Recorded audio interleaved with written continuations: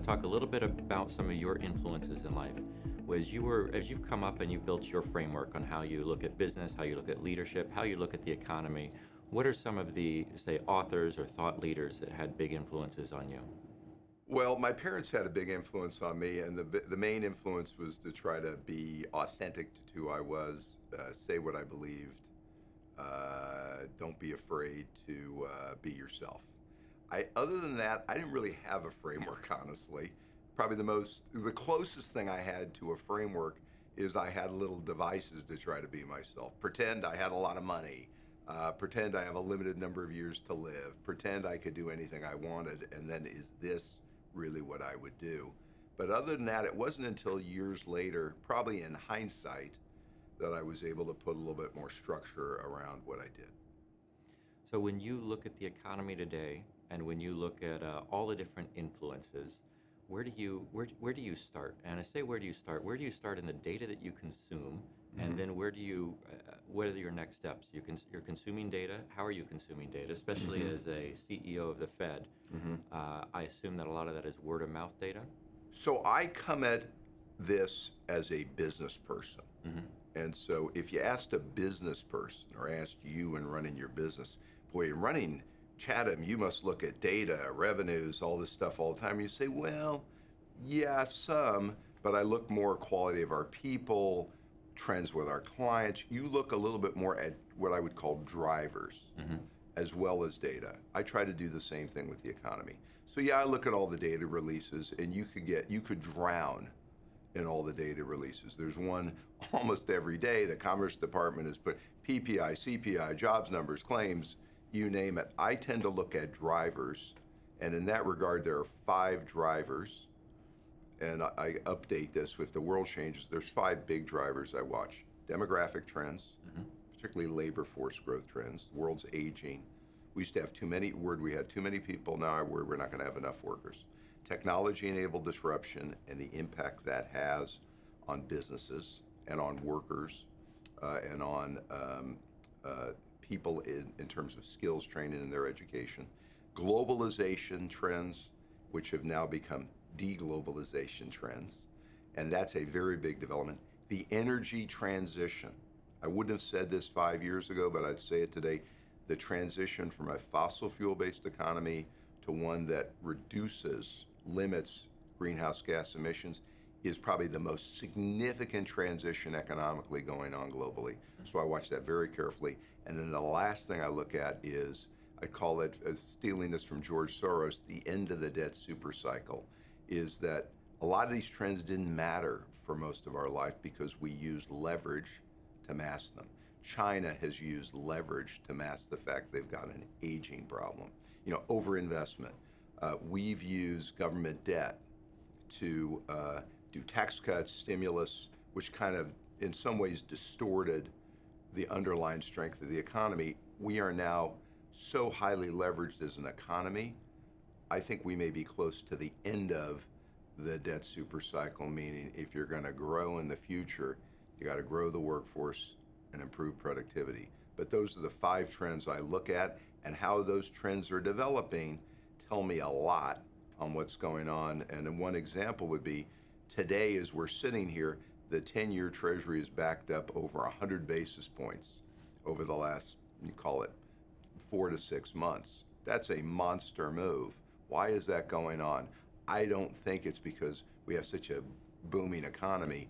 I think it's because we are highly leveraged and the world is saying, gee, with all this supply of treasuries coming and no sign you're going to reduce your deficit spending. Maybe we need to get paid more for treasuries. That's an example of a structural trend uh, uh, that I look at more. That the structural trend tells me more about that development than does the current data. Okay, so let's let's follow that thread for a minute and let's dig into it a little bit. Last time we spoke would have been uh, I think six to nine months ago, and it was really before the unwinding and the quantitative easing uh, right. started to happen. Right. I think that the Fed's balance sheet had gotten up to about nine trillion. We've seen about 750 billion, I think, get unwound more mm-hmm. or less. Um, you were warning that that's probably the canary in the coal mine. People want to mm-hmm. talk about the Fed raising rates, but it's actually the unwinding of this balance sheet or the end of the debt cycle that may be the bigger driver of things. As you've watched that start to happen, anything you're noticing specifically on the speed of that, the velocity of that, whether, whether it will continue?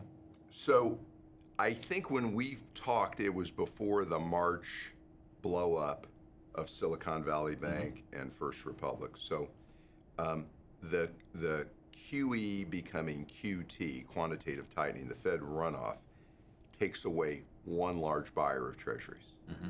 Okay? The banks were another very large buyer of treasuries.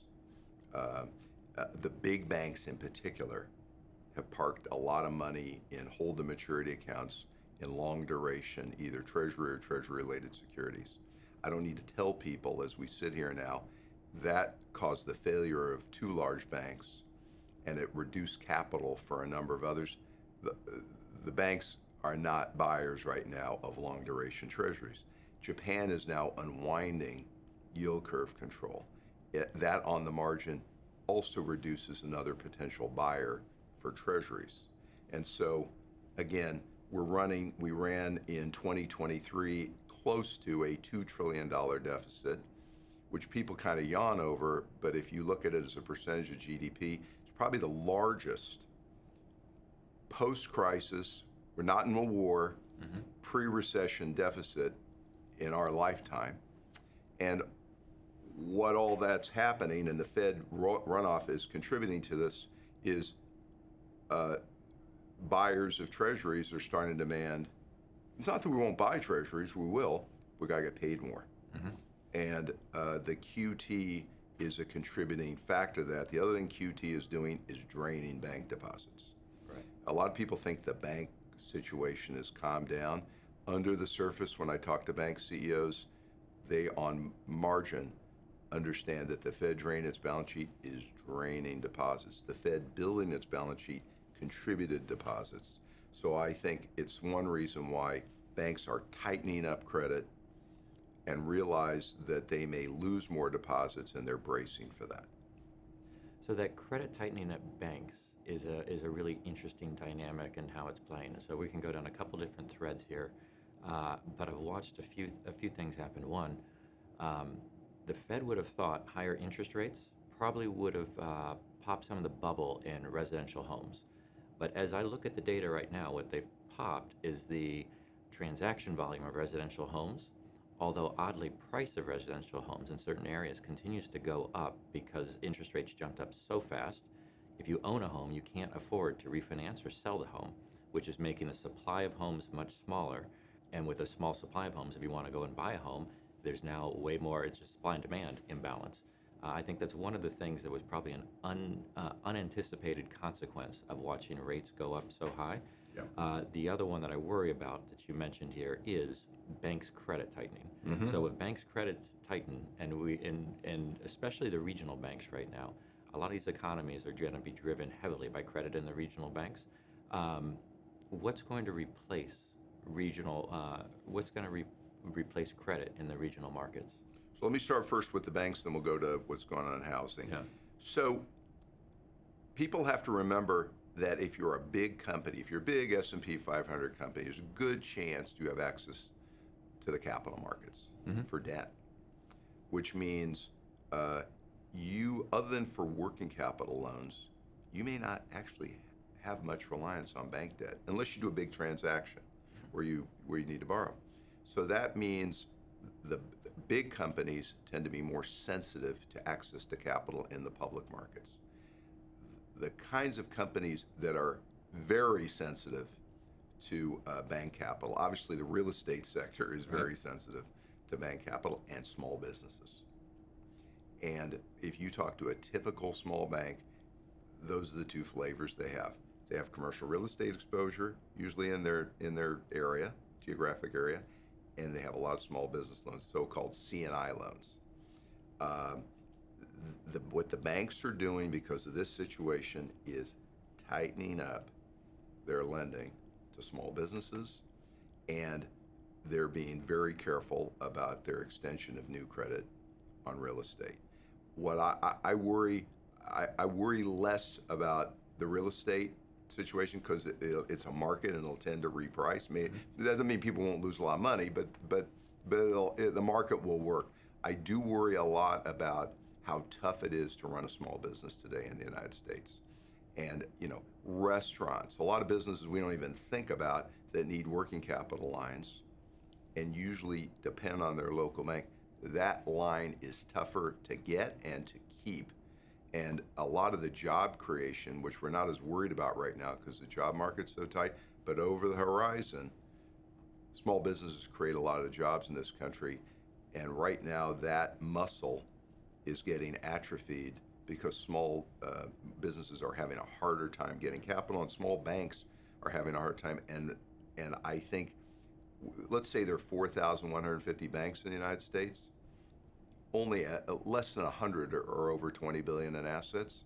I would guess that 10 years from now there'll be a thousand less hmm. small to mid-sized banks. They won't fail, but they will merge, and I can tell you those conversations are actively going on right now.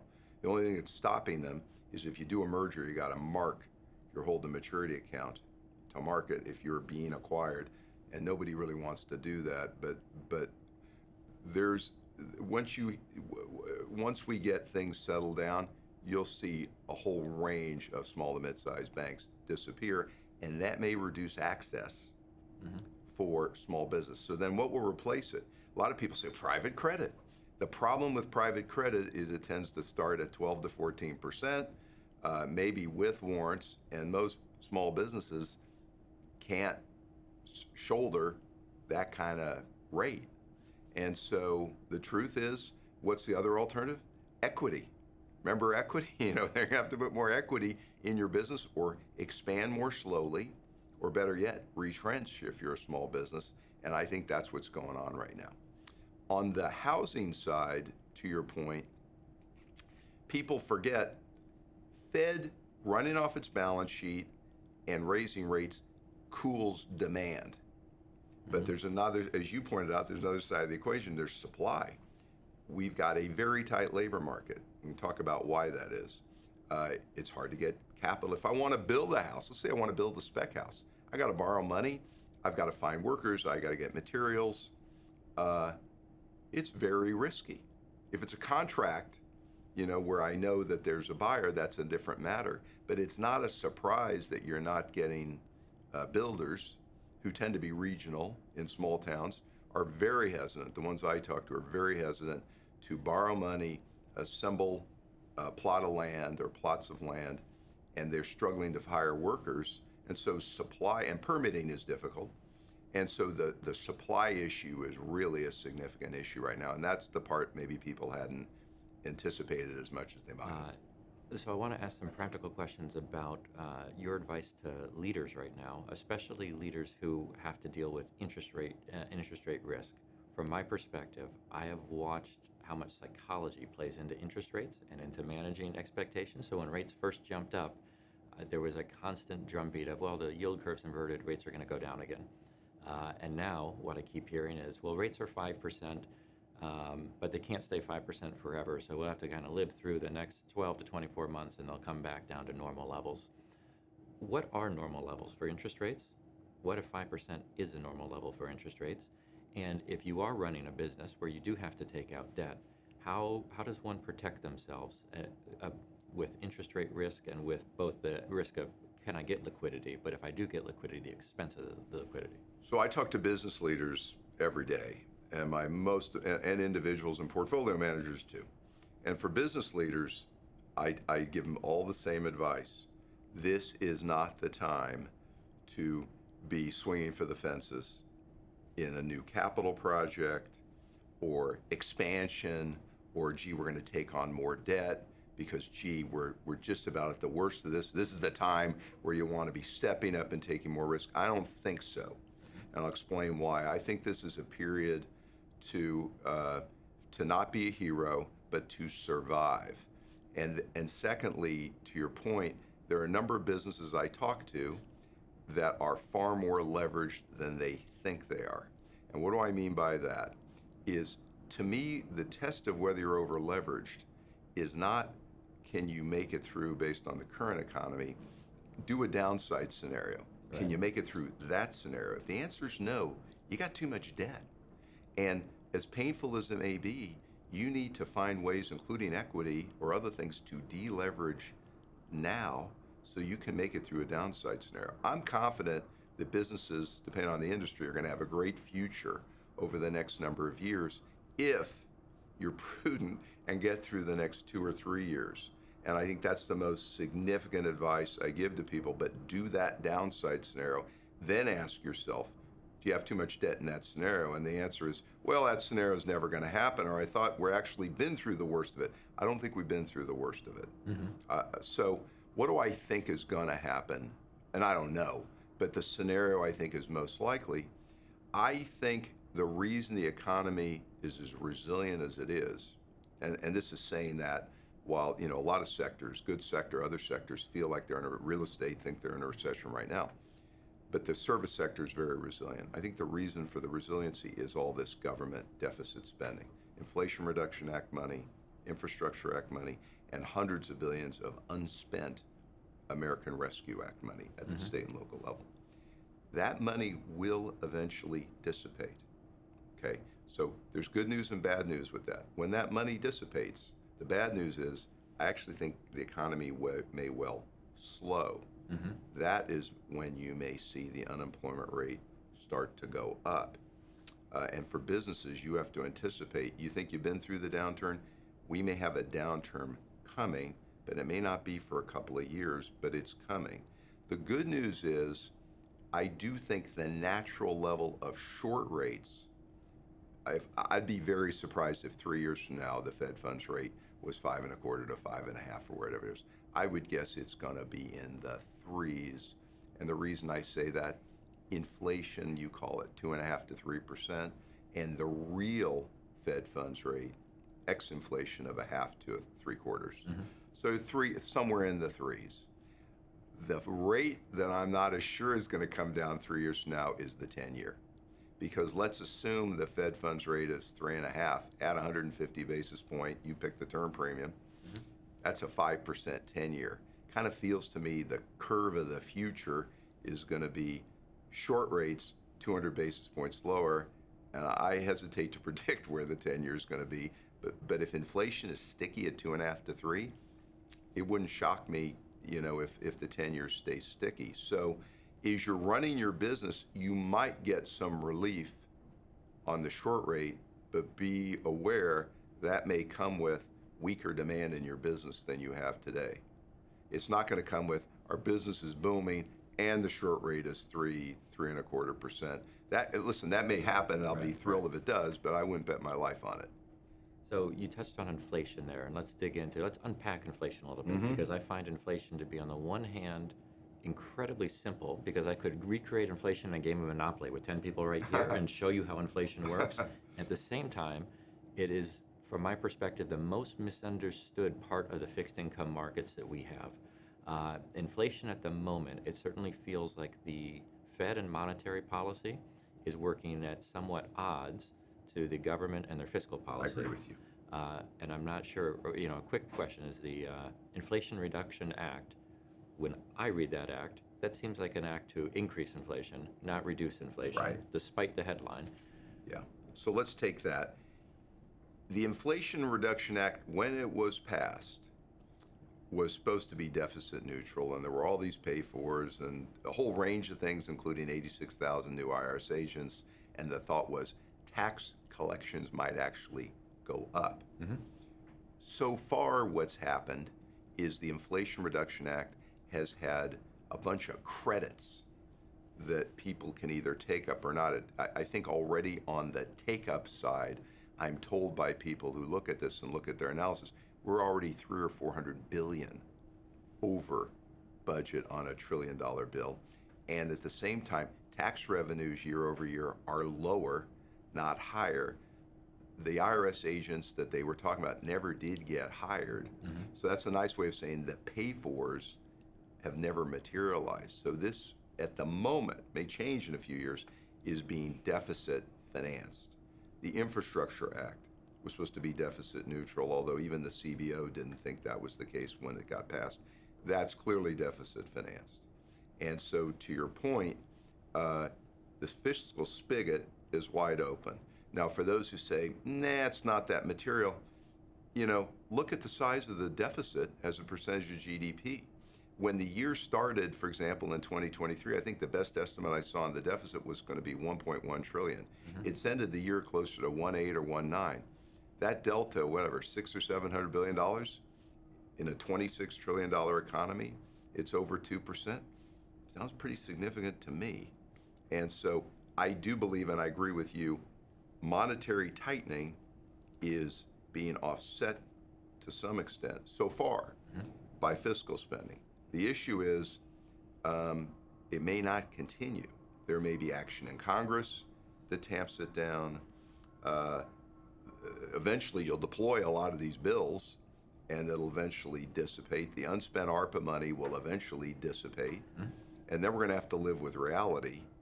And the reality is going to be, though, you may be dealing with two years from now a trillion dollars of interest expense as part of the national budget, right? That right now it's 600, 600 Right. 625, but the debt's going to all reprice. So time is not our friend. If if we continue to have a resilient economy for two more years, a lot of the federal debt is going to reprice at these higher rates. And I would guess the front page story most days or most weeks is going to be about that trillion dollar interest expense that's not only crowding out discretionary spending, it's crowding out every bit of spending. And we're going to have a national discussion about what do we do about this. Well, when I look at the uh, at the federal budget, so you're right. We, I think the stats are we have about a third of our debt rolls in the next 12 months. Uh, it's all going to get repriced significantly higher. Uh, if you think about your budget by categories, obviously you have to make your interest payments. Uh, you have entitlement payments, and you have defense payments, which we'll get to in a second. But probably we don't want to. Uh, likelihood is we're that. not going to be cutting defense No, right probably now not. which leaves only a very narrow sliver for other uh, for other payments to which we even could cut at the moment. Right? Um, now, I can make two arguments on this kind of uh, dichotomy between fiscal and monetary policy at the moment. I can make an argument to say, you know what, it's actually creating a soft landing. So monetary policy is giving us a squeeze. Mhm. Fiscal policy, I'm giving enough money. Uh, locally to keep people employed. Mhm, that, that's true. That maybe in the next two years, in the this- short run, it's true. won't be as bad. Unfortunately, I can also make an argument to go, hey, this is a funny way to delay pain. So Mm-hmm. then two years, it's going to be terrible. Yeah. Um, I think both arguments are correct. In the short run, which remember we're in in this country uh, where the attention span is very short. If the if we don't have a recession this year or next year, that may some may call that a soft landing.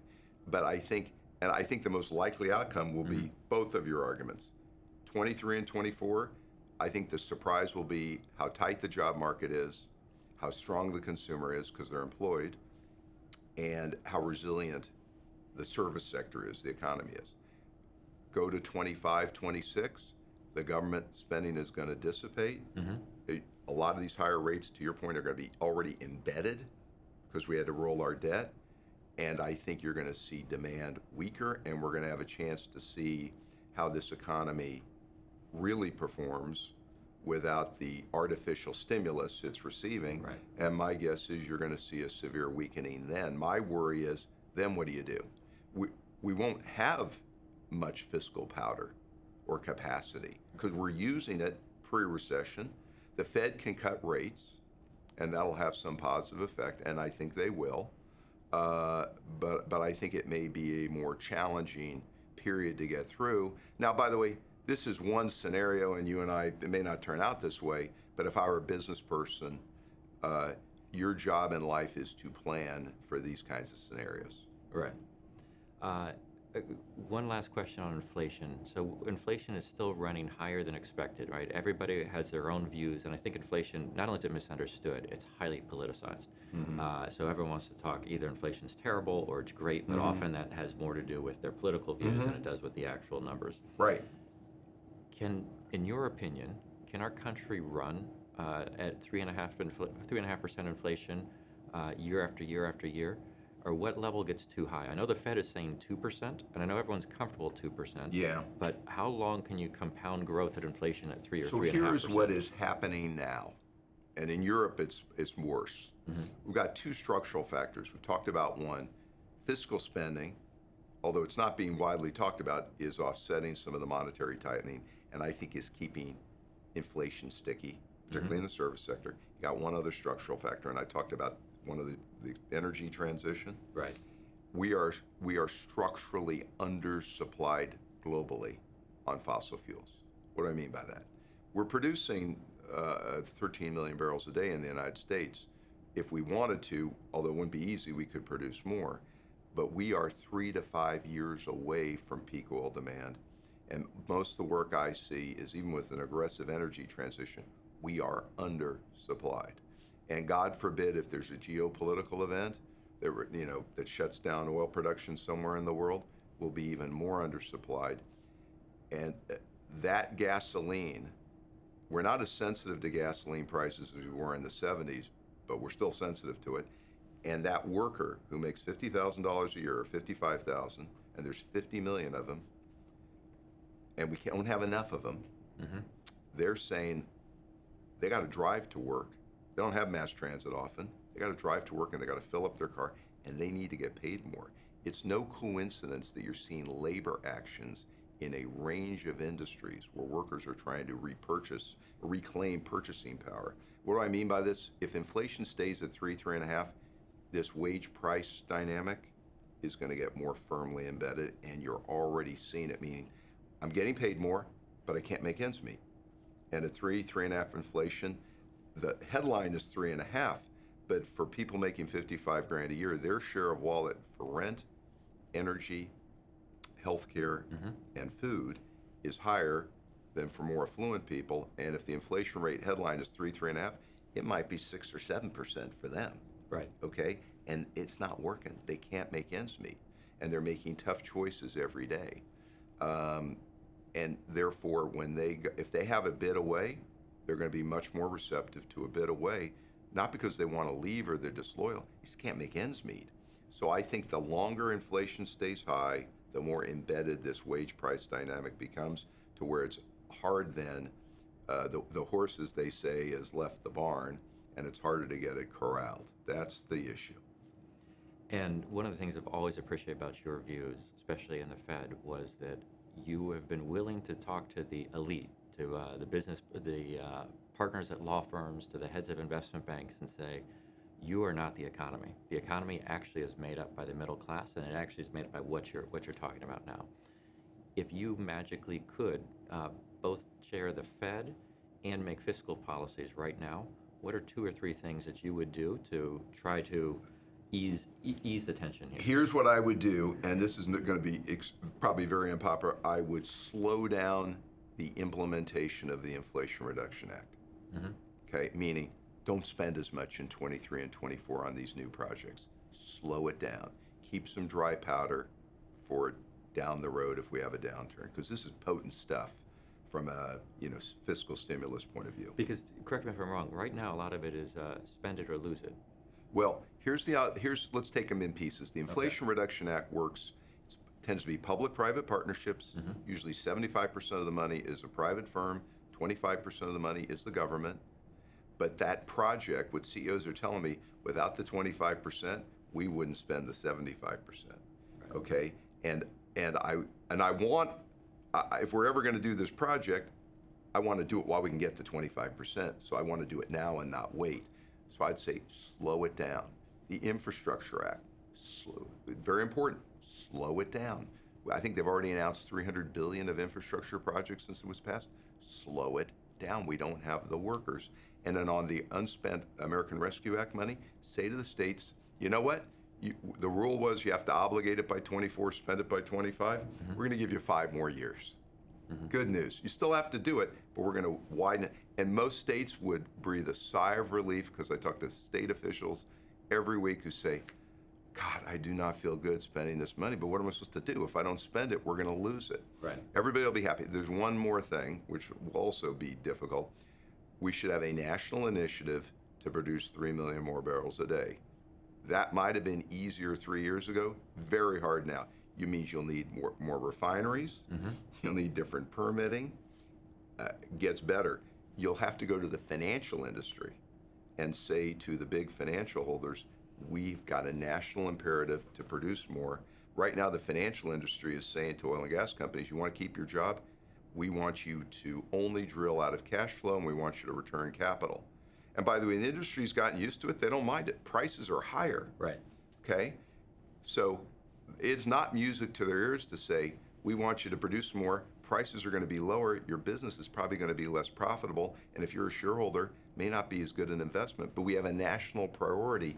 It will take an integrated plan with some resistance to make that happen. But what would it do? It's likely to lower the price of oil and gas, reduce the pressure on that middle class family, mm-hmm. probably put some cold water on this wage price spiral. And so those are the those are four actions I would take if I could. Okay. So if it's not hard enough to run a business today it, with the local economy happening, we also have this overlay in our entire ecosystem of uh, world disruption. Um, I'm going to give you two extremes on what's happening in the Middle East right now. I actually recently just finished a suspense book that I was reading. It's a fiction book on suspense, and the premise of it was written about 18 months ago. The premise was this um, Russia attacks Israel, but makes it look like it's Iran. So the, the whole world looks at Israel and Iran, so Russia can continue taking over Ukraine, and China can take over Taiwan. Uh, obviously, that that author got some things right, but that seems like that's the beginning of World War III. Mm-hmm. The flip side of this, though, could be we've had a regional conflict and crisis in this region for thousands of years, mm-hmm. um, and it can be contained if if if things go right, it can be contained to this region. Mm-hmm. I'm not going to ask you a opine on which one of those two is mm-hmm. right. I am going to ask you to opine if you're a leader in a business today, mm-hmm. how much thought should you be putting into that greater world stage, and what should you be watching for on, on decisions that you need to be making? So, uh, the long and short of it is uh, the war in the Ukraine, the war in the war right now, the conflict in the Middle East are quote unquote, as horrible as they are, are manageable from a mm-hmm. world economic point of view if they don't expand. Right. If they do expand, then all of a sudden, I would guess business activity globally will take a step down. All right? mm-hmm. Price of oil might actually, unfortunately, in the midst of that, go up. Mm-hmm. Not what you want. Uh, as a business person, your job is not to be psychic. In other words, you're not supposed to pr- uh, predict the future with it, but your job is to run scenarios and make sure you make it through that downside scenario. So my advice to business people is that isn't a crazy. That first book you read mm-hmm. is not a crazy scenario make sure you're prepared for it. Make sure you're prepared that your demand for your product or service takes a step down. Oil prices or gasoline prices may actually go up in the midst of that. I would guess there'll be a flight to quality. Mm-hmm. This is maybe a little bit of silver lining. There'll be a flight to quality, I would guess, in the short run. Rates, despite everything we've said on rates, might tend to be lower rather than higher. Um, make sure you survive it. And if you say, well, we wouldn't survive that, but it'll never happen, and the reason if the reason you won't survive it is you're over leveraged, take this opportunity. You may not think these are stable times, good times. In hindsight, they may look like stable times. Take this opportunity, if you can't. If you can't, you can't. To take some chips off the table and make sure you make it through the downside scenario. Mm-hmm. So when we've had big times like this in the past of crises, of, uh, of uncertainty, often one of the positives that's pulled us out of this is technology. Uh, technology. We advance on different technology fronts, yeah. and it makes us more efficient. Yeah. Um, what are your hopes for what we could see in technology That's, over the next five to ten years? I have no doubt that that will happen. So I would say two things have happened. We had technology-enabled disruption that made businesses more efficient we had globalization was a tool businesses use, maybe overused, mm-hmm. to outplace goods, services, workers. Uh, technology enabled disruption is alive and well, and I think, if anything, is accelerating. So we'll have that. Mm-hmm. Except workers will need to be trained and retrained. Literacy will be more at a premium, and we are lagging. I would rather the government spend a lot more money on education of hu- and human capital skills training, mm-hmm. early childhood literacy, because to take advantage of this technology evolution, there'll be plenty of jobs, but you'll need to be literate and you'll need to be adaptable. Um, the other thing that we used to use, in addition to those two, was, and if all else fails, we got a big stimulus coming, uh, tax cut, spending. I mean, whether we know it or not, we always kind of knew it's it's coming, right? It's coming, you know. And right, and I think in this next one, unfortunately, it may not be coming. Not because we don't want to, but if the 10-year Treasury, and we're worried about the, the debt as a percentage of GDP and interest as a percentage of the deficit, we just may we just can't do it. And so then we're going to have to work through this by growing the workforce, improving productivity, do it the old-fashioned way, fundamentally. We're actually not that used to that. Right, right. And, and I'm with you. That is one of my fears is while the Fed may have a bazooka, if it has no ammunition for the bazooka, how scary is a bazooka with no ammunition? Uh, tax cuts, it's hard to look at the deficit and go like, we can throw in tax cuts or even uh, quantitative easing. I don't think we're going, we can take quantitative easing. I think we played those cards. Well, the problem with quantity, so rate cuts, fair enough. Yes. That's that's fair enough. Quantitative easing, you have to remember what's the impact of it. Fed already has an enormous footprint in the Treasury market and the mortgage-backed security market, and that's a nice way of saying, to some extent, it's distorting the pricing me- mechanism Right. somewhat lower. As the Fed runs off and we sort of get off the anesthesia, you're seeing what the impact is. Things are repricing, and it doesn't feel very good. You hate to think that the antidote for what we're going to head through next is more distortion. That's what Q- QE will do. It distorts the pricing mechanism. I think, as painful as it may be, it'd be, it might be a lot healthier to live with the real Treasury price and adjust our activities and our government spending to adjust to reality. This anesthesia has, in effect, given a license to us. Fiscal spending, no problem. Rates are low, just spend it, spend it. There are some, I won't mention names, prominent economists who in the New York Times are saying these people talking about the deficit and debt, they're like, you know, dead skulls, whatever you call them, you know, like, ah, and you know what? They're right until they're wrong. Right. And I think uh, we love to invite these distortions, but I think we'd be healthier. Like if you're an individual, if I hurt my leg and you keep giving me medication, but it masks the pain that's really there and structural problems, wouldn't it be healthier just wean off that stuff and we'll go through the rehab and but let's get to a better place. I think we'll be we'd be in a better place in this economy if we did that. So, last question for you is if you suddenly um, had to invest on behalf of uh, an entity you liked, a foundation, and they asked you, where, would I, where am I going to put my money for the next five to 10 years?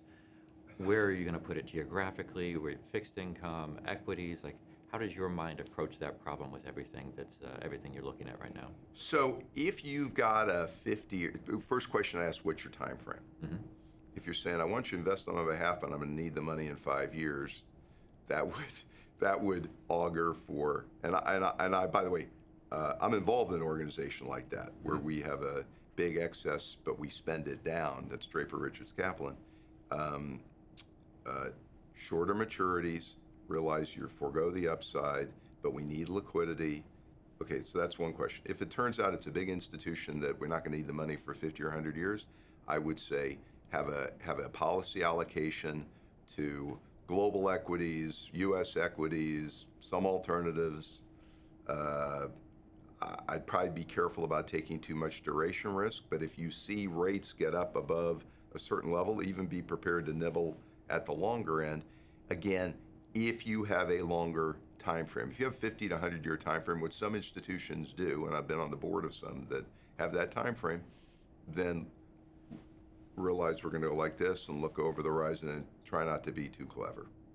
Okay, I said that was the last question, but one more. Mhm. Um, what do you say to to people who go, "This is the beginning of the decline of the American empire"? There's lots and lots you can take back to how Mhm. Rome, uh, you know, how Rome falls over time. But but they look at America and they say, "Look, Mhm. we're uh, we're overextended on Mhm. uh, m- uh, money-wise because of our budget. Mhm. We're overextended on military wi- uh, military-wise. Uh, the there's too much dissension with our Mhm. with our people. What's the So that brings me back. You asked what what are the frameworks I look at. So I tend to look at a framework which I've developed after I after I got to Harvard Business School that talks about what do you do that's distinctive, Mhm. what are your priorities, and where you're out of alignment. And in in that type of scenario, I'd be going back to basics. What makes the U.S. economy and the U.S. country distinctive? Our people, our people, our quality of our people, their education level, their ethics, their hard work, you know, all those things.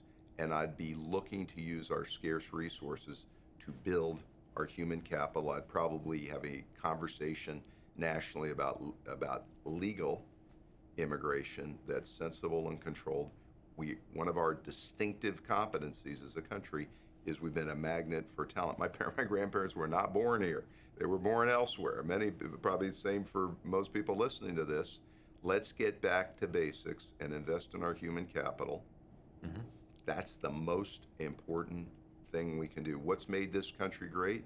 The culture of our country, the quality of our people, our ability to band together, work together for the greater good. Uh, and then then go down to okay, what should our top three priorities It'd be? Education for me, it'd be one of them. Mhm. And where are we out of alignment? And by the way, education system would be at the top. We are way out of alignment, and we're not talking about it at all. We're so busy fiddling with financial gimmickry, teacher comp, full day versus half day pre K, affordable childcare for at risk women. Get back to basics right? That grow the workforce, improve productivity, and we'll work our way. We're not going to decline versus the rest of the world if we do that. If we're all focused on financial stuff uh, and take our eye off the ball, th- then yeah, we may we may uh, decline. That should not happen. We we have the we're we've got a hand we're playing that that we can win with this hand if we're focused on what makes us distinctive and are willing to take actions and make trade-offs Mhm. that invest in those things. I think that's really well said. Well, Rob, thank you very much for the time. We appreciate the friendship you have uh, with me and with our with our entire firm. So Always a pleasure. thank you. Great to talk to you.